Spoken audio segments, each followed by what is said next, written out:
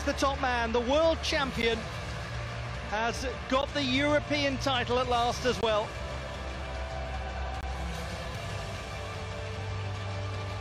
Artur Davtyan of Armenia, truly the finest out there on vault. He does everything with class and style.